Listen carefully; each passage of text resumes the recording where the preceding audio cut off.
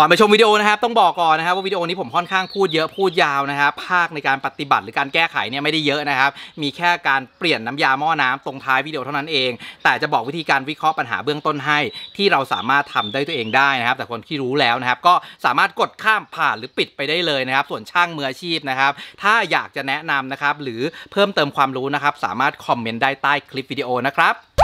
สวัสดีครับ เพื่อนๆ อยู่ในช่อง T3B ครับ และนี่ก็คือช่วง T3B DIY งานช่างง่ายๆ ครับ ที่เราสามารถทำได้เองที่บ้าน ช่วงนี้หน้าร้อนแล้วครับ หลายๆ คนเนี่ยใช้รถเก่าๆแบบผมนะครับ ปัญหาก็คือขับรถไปเนี่ย บางทีลดความร้อนขึ้นง่ายครับ แล้วก็ฮีทง่ายนะ ขับไปจอดไปเติมน้ำไป บางทีขับเร็วความร้อนก็ขึ้น บางทีติดไฟแดงความร้อนก็ขึ้น วันนี้ก่อนเข้าอู่ไปให้ช่างดู มาตรวจสอบด้วยตัวเองง่ายๆ ครับ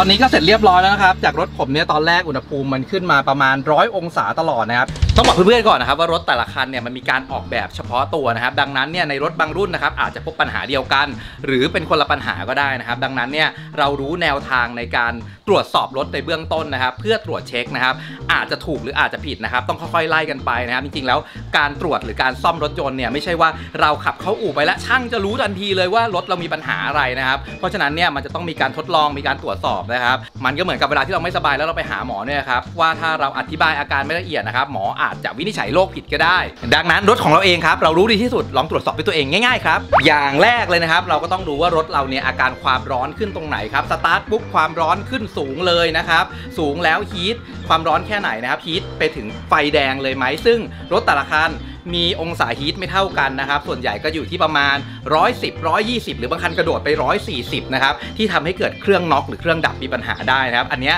เวลาที่มันจะเกิดปัญหาละรถจะมีไฟสีแดงนะครับ เป็นไฟหม้อน้ำเตือนมา อันนั้นไม่ควรขับต่อนะครับอย่าดื้อนะครับ ควรจะจอดรถพักนะครับ ให้เครื่องเย็นลงก่อน และพยายามขับเข้าไปนะครับ ใกล้อู่นะครับหรือที่ปลอดภัยให้มากที่สุด เรามาดูวิธีสังเกตอาการง่าย ๆ กันก่อนนะครับ เช่น เวลาเราขับรถนะครับรถปิดไฟแดงนะความร้อนสูงขึ้นนะครับ แต่พอรถวิ่งนะครับ ความร้อนลดลงนะครับ อย่างนี้นะครับมักจะเกิดปัญหาจากพัดลม ก็คือระบบระบายความร้อนของรถยนต์เนี่ยมันมีหม้อน้ำใช่ไหมครับเราก็ต้องให้ลมผ่านนะบางครั้งเนี่ยพัดลมทำงานช้าทำงานผิดจังหวะหรือพัดลมไม่ทำงานนะครับเราก็ต้องตรวจสอบนะว่าพัดลมเนี่ยเวลาเครื่องมันขึ้นไปถึงประมาณสัก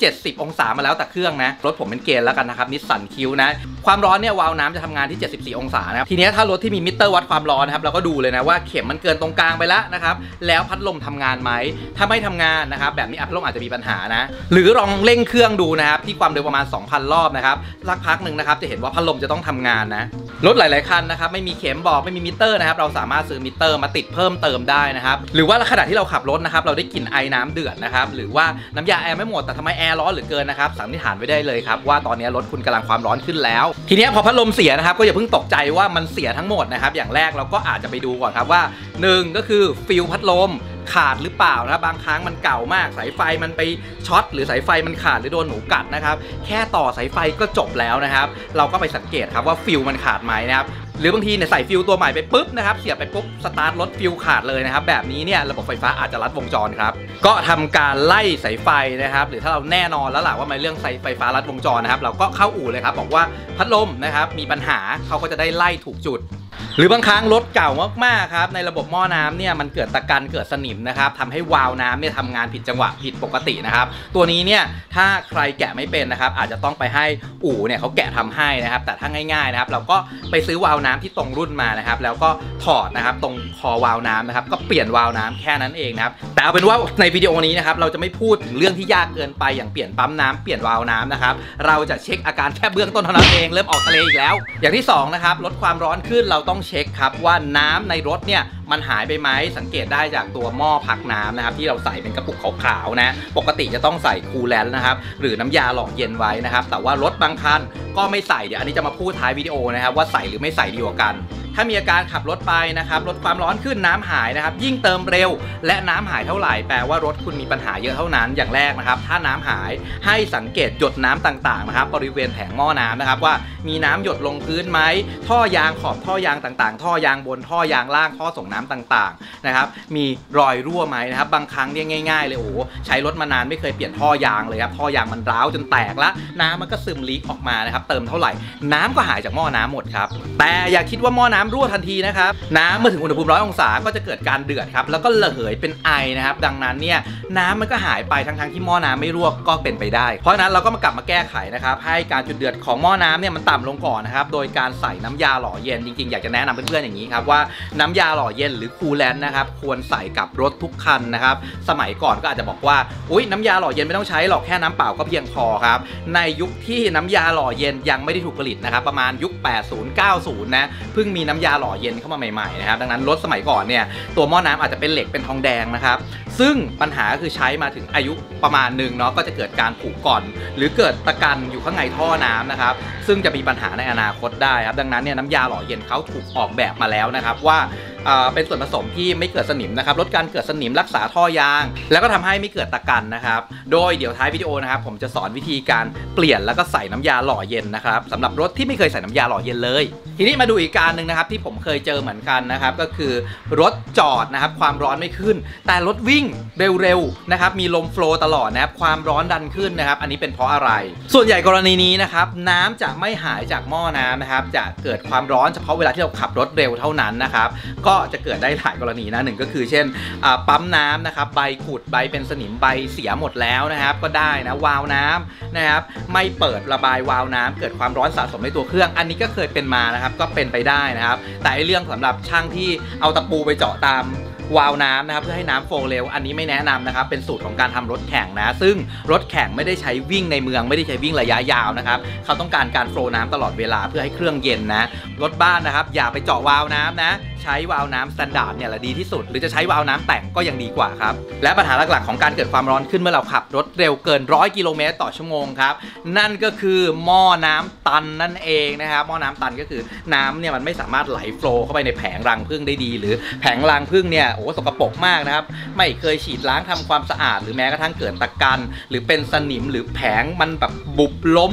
คลีบพังหมดแล้วนะครับรถเก่ามากๆนะครับพวกนี้เนี่ยขับเร็วๆนะครับความร้อนจะขึ้น และปัญหาอีกอันหนึ่งที่ทุกคนละเลยเลยก็คือ catalytic ตันครับ ปกติแล้ว catalytic โดยเฉพาะรถญี่ปุ่นโดยเฉพาะรถนำเข้านะมันจะติดเครื่องมามีเซ็นเซอร์เรียบร้อยเลยนะครับ และมันเป็นตัวระบายไอเสียครับ ซึ่งไอเสียเนี่ยมันควรจะออกท้ายแบบ flow flow ใช่ไหมเพราะนั้นการที่ catalytic ตันเนี่ยมันจะอั้นไอเสียไว้นะครับตรงแถวแถว header ซึ่งทำให้เกิดความร้อนสูงในเครื่องยนต์ได้นะครับ วิธีแก้ก็เปลี่ยน catalytic ใหม่นะครับหรือถ้าใครก็เอาแบบเร็วๆง่าย ๆ เลยนะ ไปอู่ท่อไอเสียนะครับเขาจะกระทุ้งแบบทะลุไปเลยนะครับอันนี้ก็คือไม่กรองไอเสียแล้วนะ แล้วก็เซ็นเซอร์จับไอเสียก็ทำงานเพี้ยนนะครับ แต่ว่ารถเนี่ยความร้อนก็จะลดลงอันนั้นเป็นวิธีแก้แบบประหยัดที่สุด อย่าลืมนะครับที่ผมพูดทั้งหมดคือปัญหาของรถเก่านะครับ แต่รถใหม่ๆเนี่ยอาจจะไม่มีปัญหาเหล่านี้นะครับหรือจะเกิดขึ้นน้อยมากๆ ส่วนปัญหาอื่นๆนะครับก็ยังมีอีกนะครับเกี่ยวกับเรื่องความร้อนเพราะความร้อนเป็นตัวบอกนะครับว่ารถเรากำลังมีปัญหาแล้วนะครับไม่ว่าเครื่องยนต์ของคุณจะมีปัญหาเครื่องหลวมนะครับหรือว่าน้ำมันเครื่องขาดนะครับก็อาจจะทำให้เครื่องร้อนได้นะครับหรือว่าแม้กระทั่ง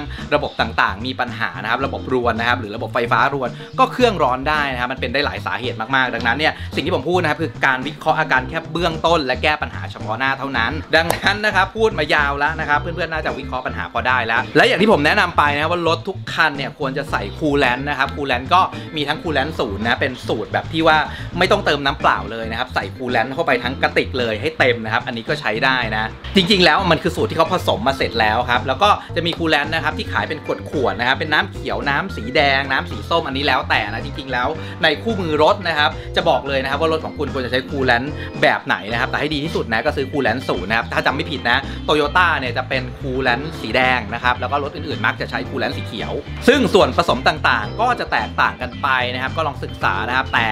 ดีกว่าใส่น้ำเปล่าแน่นอน ทีนี้ ทำไมถึงใส่น้ำเปล่าแล้วไม่ดี รถมันก็ออกแบบมาให้ว่าเป็นหม้อพักน้ำนะก็ควรจะใส่น้ำคือต้องบอกงี้ครับ เนื่องจากผมเนี่ยขายเครื่องกรองน้ำด้วยดังนั้น ผมจะเข้าใจเรื่องน้ำเป็นอย่างดีนะ น้ำเปล่าไม่ใช่ว่าน้ำมันจะไม่มีสารอะไรเลยนะครับ ถ้าคุณจะใส่น้ำเปล่า คุณควรใส่น้ำดื่ม RO โอเคไหมน้ำดื่ม RO นะครับโอกาสเกิดตะการเกิดสนิมน้อยมากนะครับใส่ได้ แต่ถ้าคุณไปใส่น้ำประปา ซึ่งน้ำประปาในกรุงเทพก็รู้อยู่ช่วงนี้นะมีเกลือปะปนนะครับแน่นอนเกิดสนิมแน่ๆนะครับหรือว่าน้ำตามต่างจังหวัดอย่างน้ำที่บ้านผมเนี่ยเป็นน้ำบาดาลนะครับกรองสนิมออกแล้วนะครับ ก็ยังมีค่าสนิมอ่อนๆดังนั้นในระยะยาวนะครับ ก็จะเกิดสนิมได้ หลายคนก็บอกว่าหม้อน้ำมันเป็นระบบปิดมันไม่มีอากาศเข้าไป ในเมื่อมันไม่เกิดอาร์ตออกซิเดชันจะเกิดสนิมได้ยังไงนะครับ ก็จริงๆแล้วมันก็เกิดขึ้นได้แหละนะแต่มันเกิดขึ้นน้อยมากมันเป็นไปไม่ได้เลยนะครับ ว่าการที่น้ำมันหมุนเวียนจากหม้อพักน้ำวนเข้าไปจะไม่มีอากาศนะครับ มันมีอากาศตอนที่น้ำมันถ่ายกลับมาหม้อพักน้ำแล้วดูดกลับเข้าไปนะครับ ดูดเข้าดูดออก อากาศมันถูกคอมเพรสเข้าไปในน้ำนะครับ ดังนั้นเนี่ยก็มีการเกิดการอัดอากาศเข้าไปในน้ำด้วย จึงทำให้เกิดสนิมหรือตะกันต่างๆ สะสมในหม้อน้ำได้ครับ เพราะฉะนั้นคนที่อยากจะเติมน้ำเปล่าแนะนำนะครับ คุณเติมน้ำ RO หรือน้ำดื่มลงไปนะครับแหม2ลิตรเองนะ และหลีกเลี่ยงการเติมน้ำหม้อน้ำในระยะยาวแล้วไม่เปลี่ยนนะตอนที่อยู่ตามปั๊มนะครับ เพราะน้ำตามปั๊มน้ำมันต่างจังหวัดส่วนใหญ่เป็นน้ำบาดาลหรือน้ำบ่อนะครับที่เอามากรองนะครับเพราะฉะนั้นเนี่ยมีโอกาสเยอะมากๆนะครับที่จะเกิดสนิมอะโอเคนะครับเพราะฉะนั้นเนี่ยเราก็จะมารู้จักน้ำยาหล่อเย็นนะครับหรือเรียกว่าคูลแลนด์นะครับทีเนี้ยวันเนี้ยรถผมเนี่ยไม่ได้ใส่คูลแลนด์นะครับเพราะว่าเพิ่ง ความร้อนขึ้นมานะ แล้วก็เติมน้ำเปล่าธรรมดาวันนี้จะทำการถ่ายน้ำจากหม้อน้ำทิ้ง ซึ่งต้องบอกก่อนว่าจริง ๆ แล้วการถ่ายน้ำรถเนี่ยมันควรจะถ่ายเข้าไปถึงในตัวเครื่องนะครับ แต่วันนี้เนี่ยผมไม่ได้สามารถคือเครื่องผมเนี่ยไม่สามารถเปิดที่จะถ่ายตัวเครื่องได้นะครับ เราจะถ่ายน้ำทิ้งเฉพาะตัวหม้อพักนะครับกับตัวหม้อน้ำเท่านั้นนะครับ ถ้าเราใส่น้ำ RO แล้วนะแล้วก็เอาตัวคูลแลนต์ใส่ไปเลยได้ไหมก็ได้นะ จริง ๆ แล้วมันก็ไม่ได้แบบ เกิดผลเสียขนาดนั้นนะครับ แต่ถ้าเราเลี่ยงได้นะผมก็จะใช้วิธีอย่างนี้ครับน้ำกลั่นนะน้ำกลั่นทำไมถึงใช้น้ำกลั่นน้ำกลั่นเป็นน้ำที่บริสุทธิ์ร้อยเปอร์เซ็นต์นะครับ น้ำ RO เนี่ยยังมีส่วนผสมของโลหะต่างๆ อยู่นะครับ ซึ่งเขาก็กำหนดว่าค่า DDS เนี่ยไม่ควรเกิน 40 นะ บางครั้งก็ 7 นะครับ อย่างนี้ใช้ได้นะ แต่อย่าเอาน้ำส่งน้ำสิงไปเติมนะต้องน้ำ RO อ่านที่ขวดนะครับ เราก็จะผสมกับคูลแลนต์นะครับ ซึ่งอัตราส่วนนะครับก็แล้วแต่นะครับที่ผู้ผลิตคูลแลนต์เขาแนะนำมานะครับ อย่างขวดนี้เนี่ยเขาแนะนำก็คือ 1 ต่อ 10 นะครับ เราก็จะผสมแยกก่อนนะครับ เพื่อ ใส่เข้าไปในตัวรถ ทีนี้มันก็จะมีคนบอกว่าล้างหม้อน้ำอยากให้สะอาดต้องฟลัดด้วยนะครับฟลัดคืออะไรฟลัดคือน้ำยาล้างหม้อน้ำนั่นเองนะเวลาเราใส่ไปก็จะมีวิธีการล้างนะโดยส่วนตัวแล้วนะครับผมไม่แนะนำให้ฟลัดแล้วกันนะ แต่ว่าใครอยากทำอยากลองทำก็ได้นะ เพราะว่าเขาออกแบบมามันก็คงใช้ได้แหละ แต่ก็มีหลายคนนะครับบอกว่าหลังจากฟลัดแล้วนะครับก็เกิดปัญหาหม้อน้ำรั่วหม้อน้ำผุง่ายครับเนื่องจากการฟลัดนะครับเป็นการที่ตัวน้ำยาเนี่ยเข้าไปทำปฏิกิริยากับสนิมหรือตะกัน ซึ่งบางครั้งเนี่ยหม้อน้ำมันรั่วอยู่ครับแล้วไอ้สนิมหรือตะกันเนี่ยมันไปอุดรูรั่วไว้เรียบร้อยแล้วทำให้น้ำของเราไม่เกิดอาการรั่วนะแต่ว่าพอเราไปฟลัดทิ้งนะครับคือหม้อน้ำที่มันเป็นรูครับรูมันก็โผล่โหวออกมานะ มันก็เลยทำให้หม้อน้ำของคุณรั่วง่ายครับและที่สำคัญนะครับการผลิตหม้อน้ำเขาจะมีการใส่น้ำยาเคลือบสารเคลือบไว้แล้วครับเมื่อเราฟลัดนะน้ำยาเคลือบและสารเคลือบทั้งหมดจะถูกลอกออกนะครับจึงทำให้หม้อน้ำเสียหายง่ายขึ้นครับแต่ถ้าใครคิดจะเปลี่ยนหม้อน้ำหรือคิดจะทะลวงหม้อน้ำอยู่แล้วนะครับก็ลอง flush ดูก่อนก็ได้นะ อันนี้ต้องลองเองนะครับไม่ confirm นะว่าดีหรือไม่ดี ถ้าให้ผมแนะนำอย่าเพิ่ง flush ครับ ตอนนี้นะครับรถของเราก็ยังอุณหภูมิร้อนๆอยู่นะครับเพราะฉะนั้นเนี่ยเดี๋ยวเราพักสักแป๊บหนึ่งนะครับ ให้เครื่องเย็นก่อนนะครับ สังเกตว่าเราจับตรงนี้ก็ได้นะครับ ถ้าฝาหม้อน้ำตรงนี้มันเริ่มเย็นแล้วนะครับ เราก็จะสามารถเปิดได้นะแต่ตอนนี้เดี๋ยวพักไว้ก่อนนะครับเพราะมันร้อน หลังจากเครื่องเย็นนะครับ ก็ให้ขึ้นแม่แรงนะครับหรือถ้ารถใครสูงเนี่ยเราสามารถมุดเข้าไปดูใต้ท้องได้เลยนะ ปกติเนี่ยที่หม้อน้ำครับจะมีปลั๊กสำหรับถ่ายน้ำอยู่ด้านล่างนะครับเป็นวาล์วเกลียวแล้วแต่นะครับว่ารถรุ่นไหนนะครับ เราก็ขึ้นแม่แรงครับแล้วเดี๋ยวมุดเข้าไปดูกัน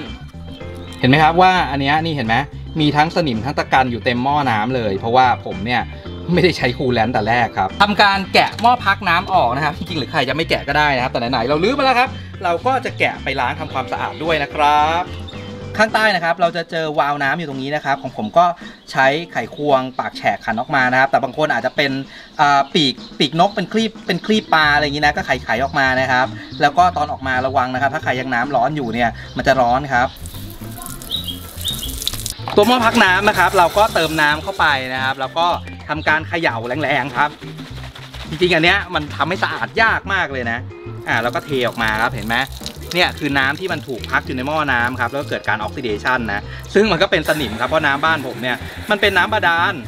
ตามที่บอกเพื่อนๆในตอนต้นนะครับว่าเครื่องแต่ละรุ่นเนี่ยก็ไม่เหมือนกันนะครับ เพราะฉะนั้นเนี่ยบางครั้งเนี่ยจะมีตัวน้ำเดิมของเรานะครับ ค้างอยู่ในระบบเครื่องยนต์นะซึ่งการถ่ายครั้งเดียวเนี่ยมันอาจจะไม่หมดนะครับ เพราะฉะนั้นเนี่ยอาจจะสักใช้ไปอีกสักสองสาเดือนแล้วเรามาถ่ายอีกรอบหนึ่งนะครับให้คูลแลนต์มันเข้าไปวนอยู่ข้างในก่อนนะสำหรับคนที่มีวาล์วน้ำอยู่ตรงตัวเครื่องยนต์นะครับก็สามารถถ่ายวาล์วน้ำตรงนั้นได้เลยนะครับแต่รถผมเนี่ยรู้สึกว่าจะไม่มีนะ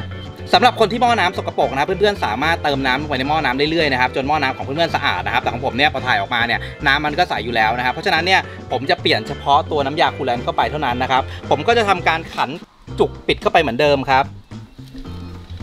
เติมน้ำยาหล่อเย็นนะครับ ตามอัตราส่วนที่ผู้ผลิตแนะนำนะครับ เข้ากับน้ำกลั่นนะแล้วก็เติมน้ำยาหล่อเย็นของเรานะครับ ที่ผสมเสร็จแล้วนะครับ เข้าไปในหม้อน้ำนะครับ ค่อยๆเติมนะครับ เพราะตอนนี้เนี่ยเราปิดจุกด้านล่างนะครับ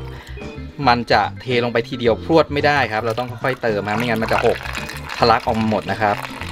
เติมน้ำในหม้อน้ำเต็มแล้วนะครับ ก็มาเติมฝั่งหม้อพักตามระดับด้วยนะครับ แต่ว่าแค่นี้ยังไม่เสร็จนะ เพราะว่าเดี๋ยวเราต้องทำการไล่น้ำออกจากระบบก่อน หลังจากเราเติมน้ำยาหล่อเย็นครับก็ทำการไล่น้ำนะครับ โดยการสตาร์ทเครื่องนะครับ เปิดแอร์ไว้นะฮะแล้วก็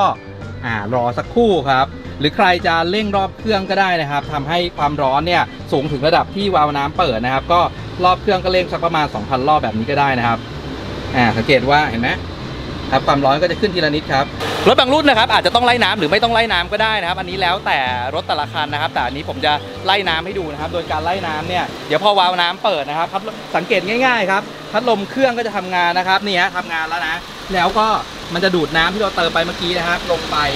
ในเครื่องยนต์นะครับ เราก็ทำการเติมเข้าไปเลยนะฮะนี่ครับก็เติมส่วนที่เหลือเข้าไปนะฮะเพราะว่า ตอนแรกเราเติมยังไม่เต็มครับ มันจะมีอากาศครับ ถ้าวิ่งไปแบบนี้เดี๋ยวยีดอีกรอบแน่นอนนะ เราก็ทำการไล่น้ำไปหลาย ๆ รอบนะครับ จนกว่าปริมาณน้ำเนี่ยมันจะไม่ลดแล้วนะครับ หลังจากนั้นเนี่ยเราก็ปิดฝาได้เลยครับ ตอนนี้ก็เสร็จเรียบร้อยแล้วนะครับ จากรถผมเนี่ยตอนแรกอุณหภูมิมันขึ้นมาประมาณร้อยองศาตลอดนะครับ แค่สตาร์ทจอดทิ้งไว้นะครับ ตอนนี้เปลี่ยนเป็นใช้คูลแลนต์นะครับ แล้วก็เติมน้ำกลั่นนะครับ สังเกตว่าอุณหภูมิตอนเนี้ยจะคงที่นะครับอยู่ที่ประมาณ 80 องศาแค่นั้นเองนะครับ แต่เดี๋ยวลองไปวิ่งไกลๆดูนะครับ ว่าอุณหภูมิจะไปแตะร้อยอีกหรือเปล่านะครับ แต่ตอนนี้หลังจากที่ทำไปแล้วเนี่ย เย็นลงเยอะเลย แค่นี้เองนะครับแก้ปัญหาความร้อนเครื่องยนต์ง่ายๆนะครับเช็คอาการเบื้องต้นแบบที่ผมบอกดูก่อนนะครับหรือถ้าใครมีอาการที่มันไม่ไหวจริงๆนะครับหรือว่าทำเองไม่ได้นะครับ ก็เข้าอู่ที่เราไว้ใจได้แล้วกันนะครับสำหรับเพื่อนๆที่เพิ่งเข้ามาติดตามชมนะครับอย่าลืมกดติดตามกดกระดิ่งเป็นกำลังใจให้ผมนะครับพาผมไปยอด 3 0 0 0 0 0 subscribe และอย่าลืมไปติดตามคลิปความรู้ที่ลงเกือบทุกวันเลยใน TikTok นะครับก็มีหลายคอนเทนต์เลยนะไปติดตามกันแล้วกันนะครับ และคนที่ชอบ DIY นะครับทุกวันอังคารสองทุ่มตรงครับ มาเจอกันวันนี้ไปก่อนครับ บ๊ายบาย